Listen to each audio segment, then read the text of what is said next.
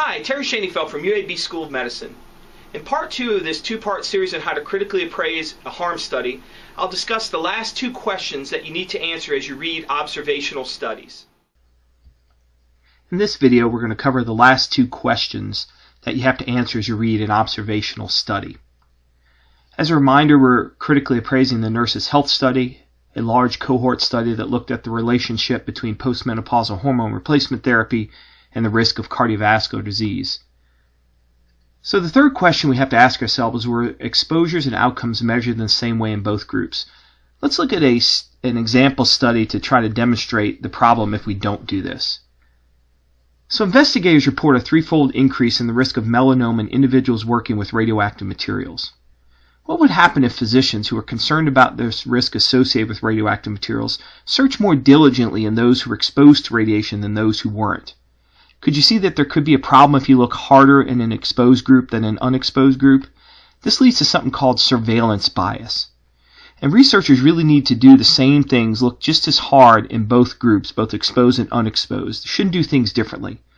One way to help do that is to blind the researchers to exposure status in a cohort study or to outcome status in the hypothesis of the study in a case control study. We don't want their knowledge of exposure status or outcome status to influence how they look for data in the study. We also need to have standardized methods that are used the exact same way in both groups. We want standardized definitions of what an exposure is, we need standardized definitions of what an outcome is, and we need them applied the same in both groups. So where could researchers get information on exposure? There's four different places. One, they could use pre-existing records. These are easy to use. They're already readily available. But the problem is they can often be incomplete because many times these records, which are physicians' records or administrative databases, were not designed for study purposes. So sometimes there's not information in them that the researchers might need. You could interview people or give them questionnaires either to the patients themselves, the doctors of the patient, or family members. You can get very complete data here because you can ask whatever you want. But the problem is it can be biased, and a particular problem in uh, case control studies and, and retrospective studies is recall bias. What recall bias is people with disease tend to think more about the problem they have, what could have caused it, and differentially remember exposures compared to people who don't have that disease.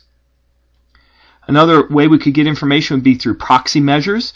And here we're trying to estimate an exposure, um, for example, by using a job title. So let's say there was a uh, worry about radiation exposure. Well, we could get a group of people whose job titles would indicate somebody who might be exposed to radiation. Um, if there's a chemical spill at a plant, we might use proximity measures like a miles radius around the plant, but these can be inaccurate. Finally, we could do direct measurement. And this is often the best, but sometimes direct measurement is not available. So if you're doing a retrospective study, you can't often go back and directly measure the level of some exposure that you'd like. So let's see how good the nurse's health study did. So I want you to pause the video and read these excerpts from the nurse's health study and see if you think the exposures and outcomes were measured the same way in both groups. When you've got your answer, restart the video and see how your answer compares to mine. So let's see how you did. So both groups, both cohorts, both the nurses who used hormones and those who didn't, completed questionnaires every two years. And they both got the same exact questionnaire. So the researchers did a good job of looking for exposures and outcomes in the exact same way. These these questionnaires look for hormone replacement therapy and also look for outcomes. As you can see in this bottom part down here, when certain outcomes were indicated on the questionnaire, medical records were pulled to confirm those outcomes. So Nurses Health Study did a good job here. The final question you need to ask is, was follow-up sufficiently long and complete?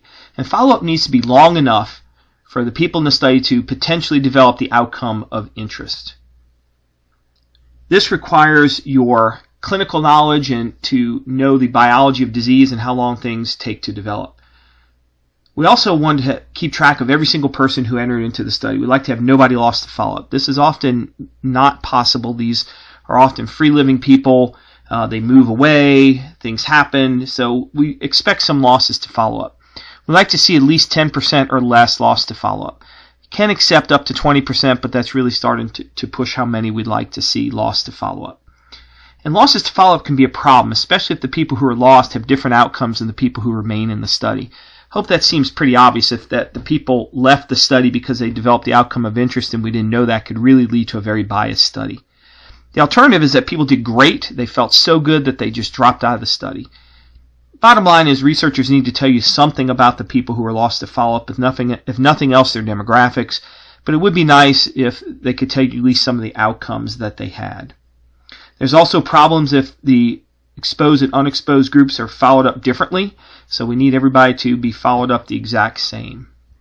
So how did the Nurses Health Study do? So pause the video, read these two excerpts, and see if you think follow-up was sufficiently long and complete.